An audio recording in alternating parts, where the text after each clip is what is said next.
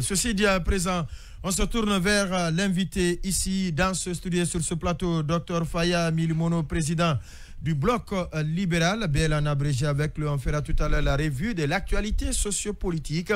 Dr Faya Milimono, bonsoir. Bonsoir à l'équipe. Merci d'avoir accepté notre invitation. Bonsoir encore une fois.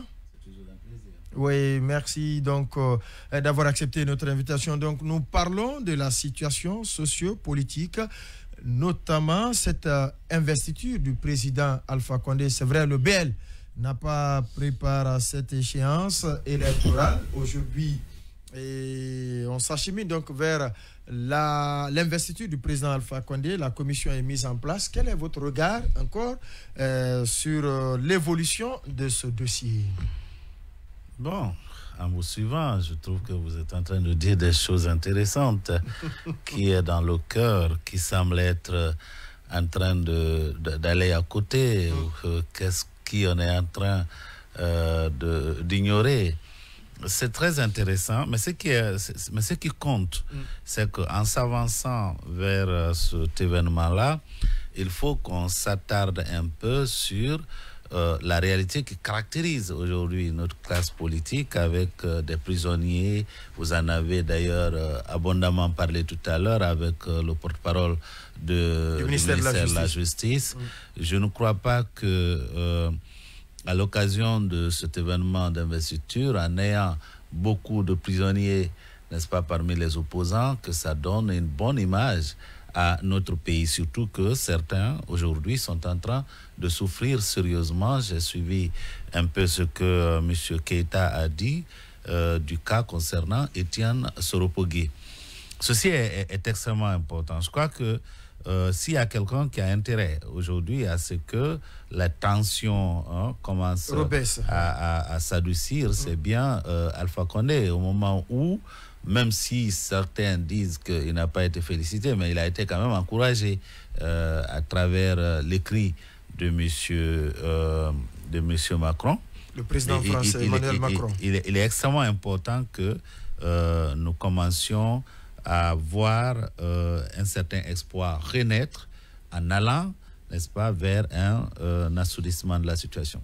Oui, mais à vous entendre parler, c'est comme si vous aussi, vous entérinez définitivement Non. la question du troisième mandat. Non, pas du tout. Vous faites, vous faites dans le réalisme. Écoutez, exactement. euh, en fait, nous sommes en train de mener un combat depuis euh, euh, trois ans. Et d'ailleurs, bien plus.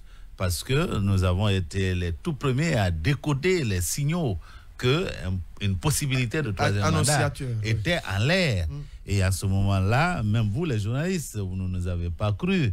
Vous avez dit que nous prêtions les intentions à Monsieur le Président. Mais ça s'est avéré vrai hein, au- aujourd'hui. Alors, on se dit, euh, devant cette situation, avec toutes les institutions qui ont reconnu, n'est-ce pas, ou qui ont confirmé euh, cette victoire et la reconnaissance de la communauté internationale, parce que la question qu'on se pose aujourd'hui, c'est de savoir pourquoi la communauté internationale ne reconnaîtrait pas euh, euh, Alpha Condé au moment où ceux mêmes qui ont mené le combat, n'est-ce pas, pour protéger la Constitution, hein, qui ont rejeté la nouvelle Constitution, ont quasiment contribué à légitimer cette Constitution et à légitimer les élections que nous venons d'avoir.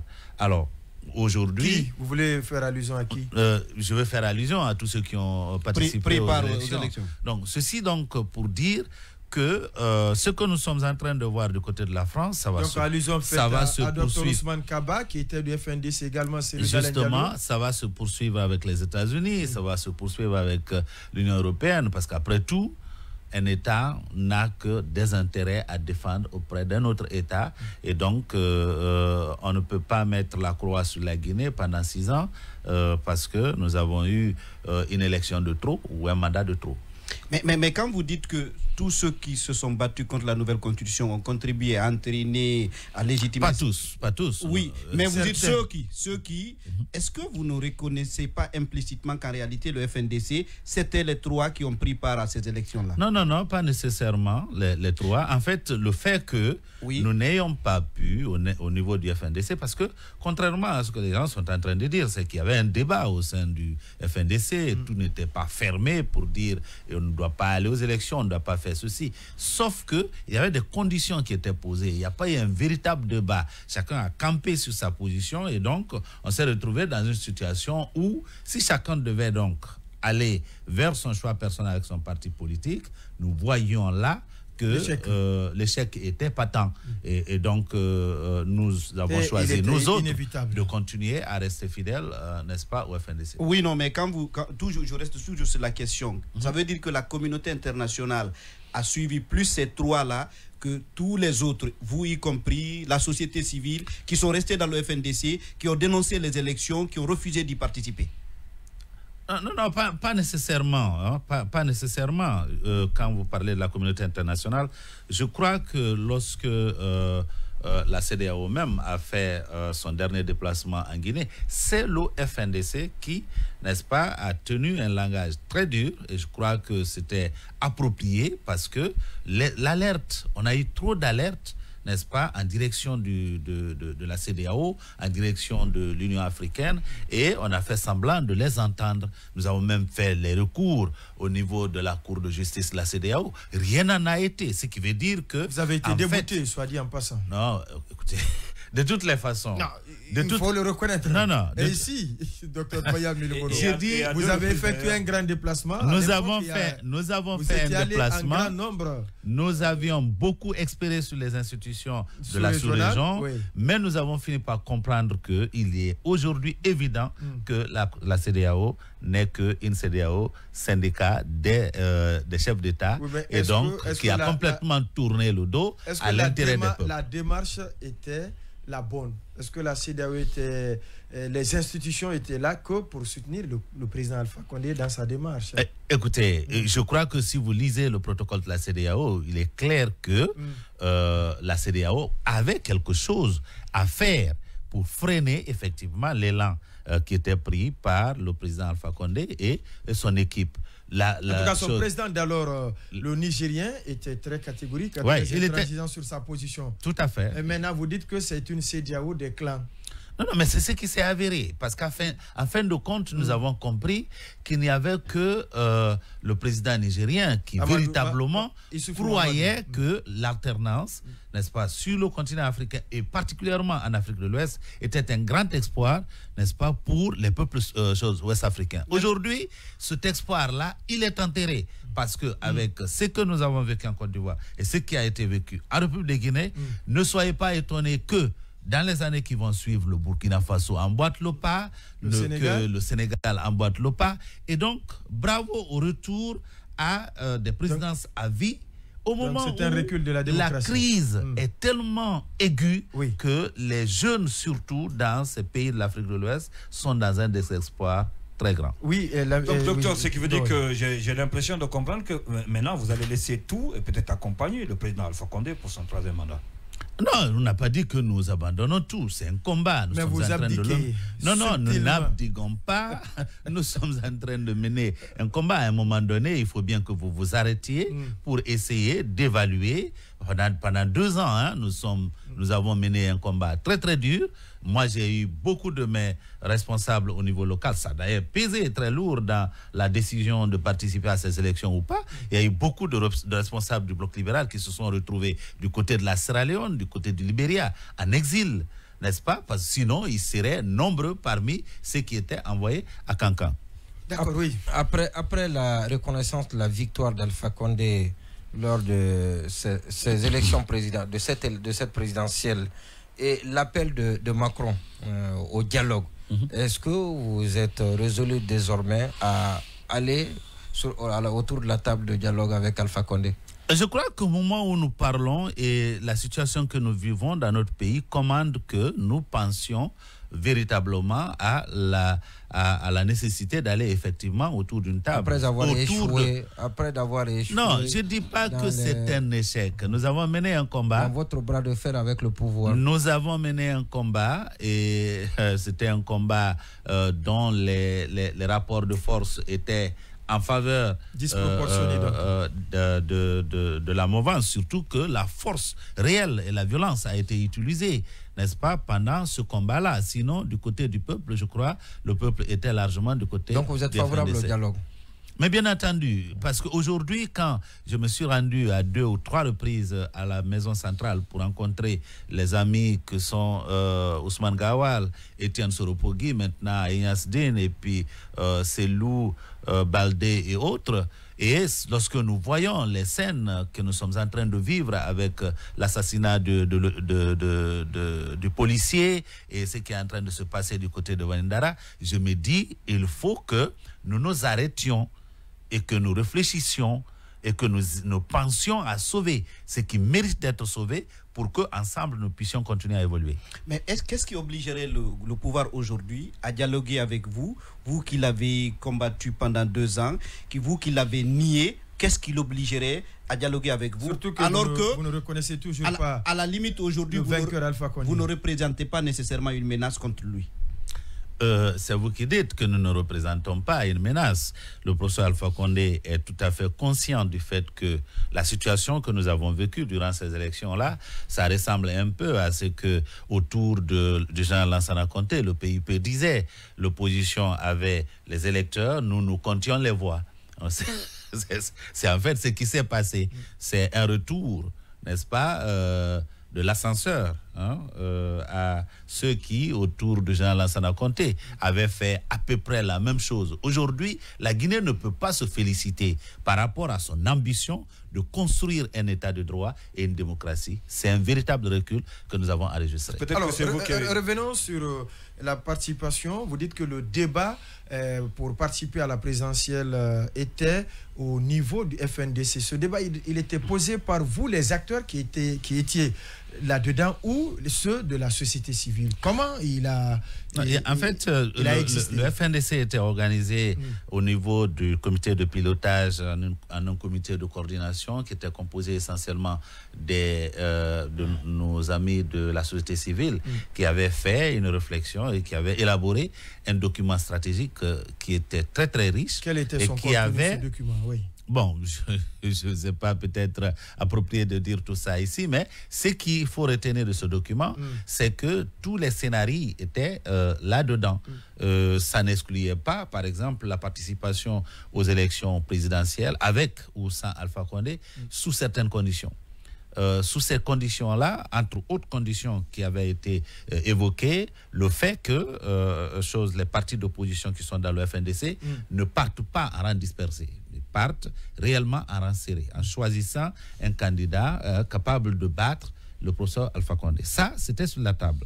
Mais deux écoles hein, cohabitent sur l'échiquier politique, sur l'opposition euh, au sein de l'opposition guinéenne. Vous vous rappelez depuis 2015, lorsque nous avions, nous, parlé de, euh, Cette, de- de- des États généraux, oui, de non, non, des l'opposition. États généraux de l'opposition, l'opposition, oui. euh, ce qui euh, nous permettrait, avec l'aide des académiciens, de comprendre qu'est-ce qui peut aujourd'hui permettre effectivement l'alternance par la voie des urnes?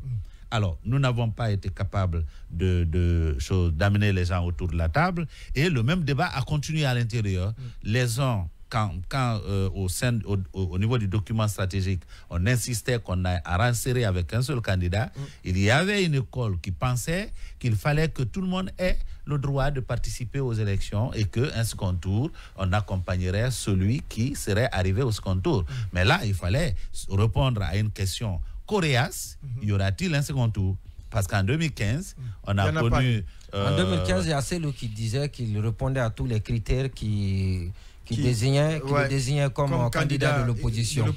Parce qu'il Écoutez, était ça, le chef de ça- de ça, c'est un débat. le plus grand avait- nombre de avait- militants. Justement, Ouais. oui. Tout à fait. Et tout à Sidi fait. Touré aussi il revendiquait la même chose, puisqu'il on n'avait était pas besoin de chercher ailleurs, c'était d'accompagner Cellou si vous étiez.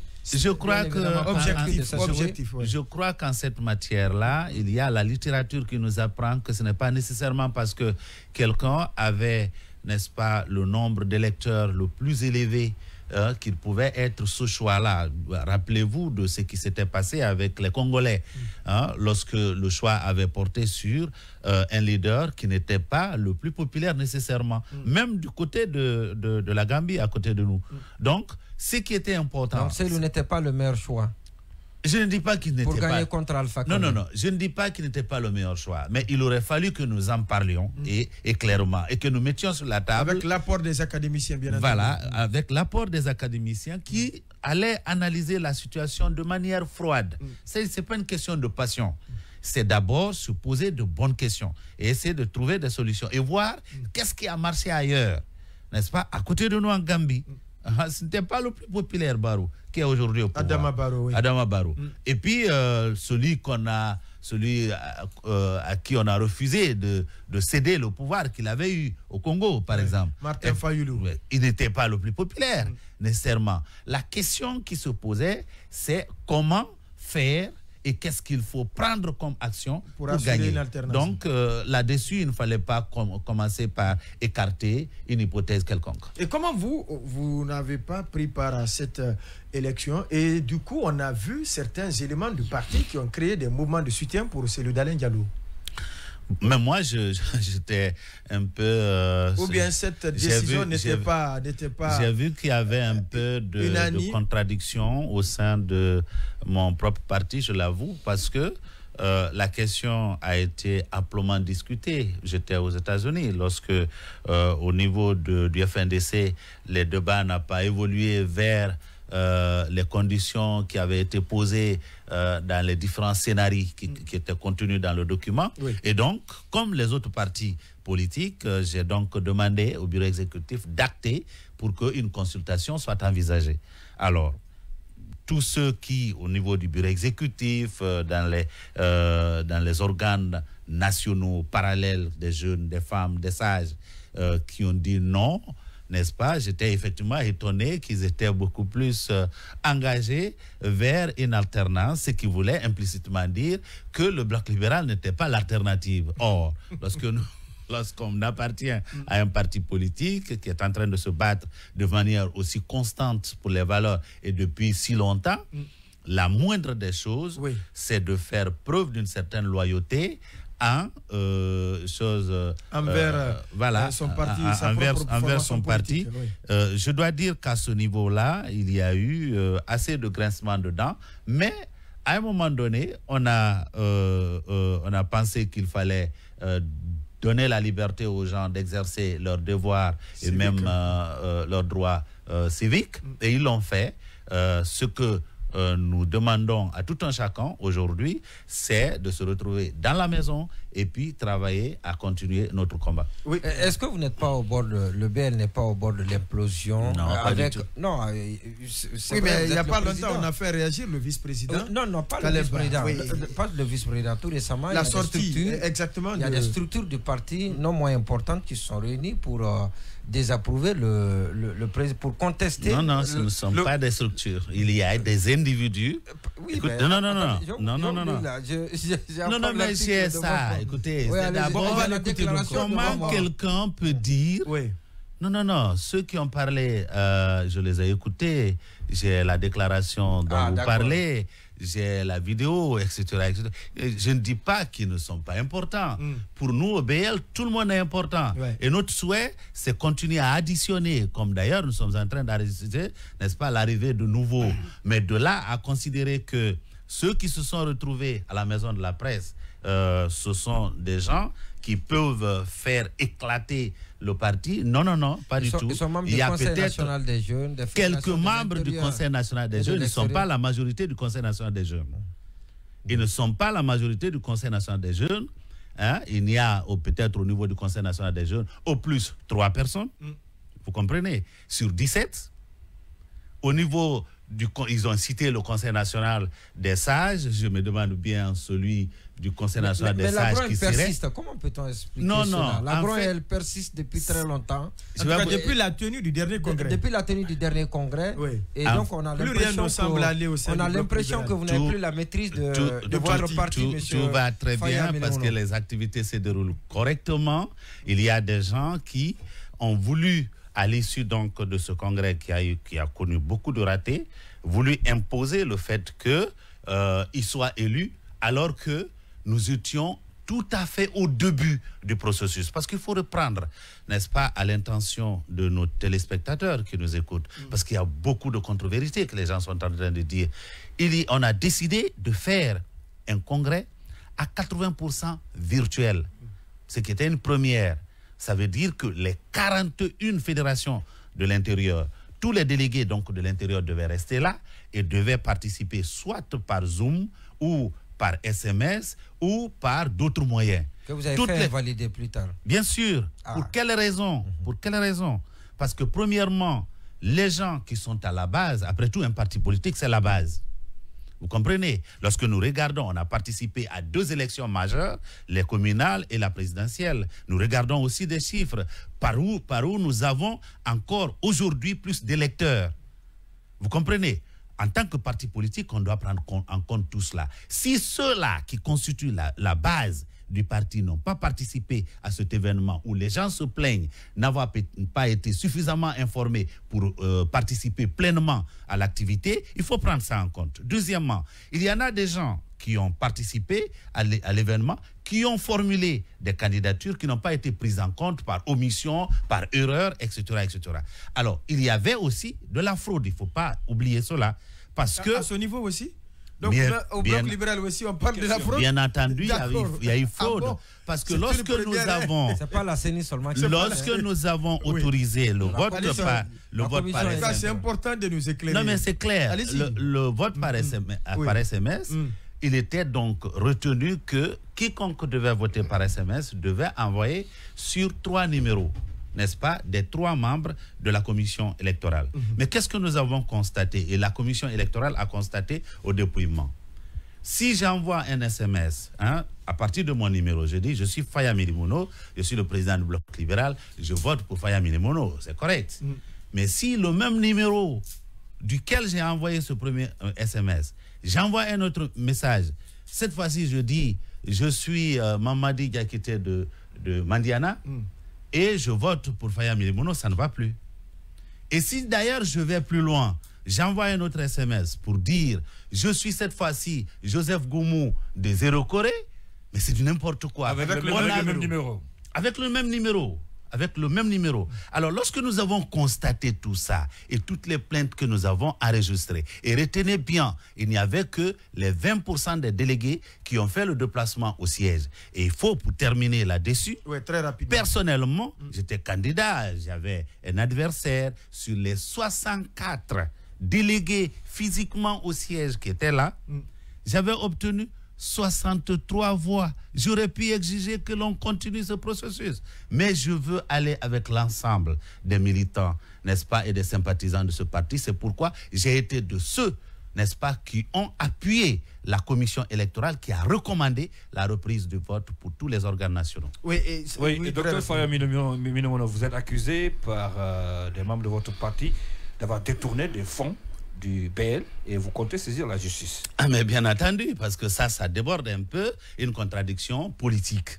Quand ils disent que j'ai détourné des fonds, eh bien, peut-être qu'ils ont des preuves. C'est pour cette raison, là-dessus, je n'en fais pas de commentaire depuis que j'ai écouté cela. Et ce qui était euh, beaucoup plus intéressant, c'est que à l'extrême euh, droite ou à l'extrême gauche, pour celui qui regarde... Est-ce que ce pas gênant pour vous, docteur non, qui prenait la la, transparence, la, bonne gouvernance. Et c'est pour cette raison que dans votre parti qu'on parle de détournement, de fraude. Et, c'est vous qui êtes le mis en cause. Est-ce que ce n'est pas gênant Est-ce que vous, ça ne vous met pas dans une position de faiblesse pour, euh, D'abord, critiquer des On a, une, position inconfortable. En tout cas, lorsque vous êtes accusé, mm. il est clair que vous ne pouvez pas être confortable. Mm. Surtout quand on sait que c'est une accusation non fondée.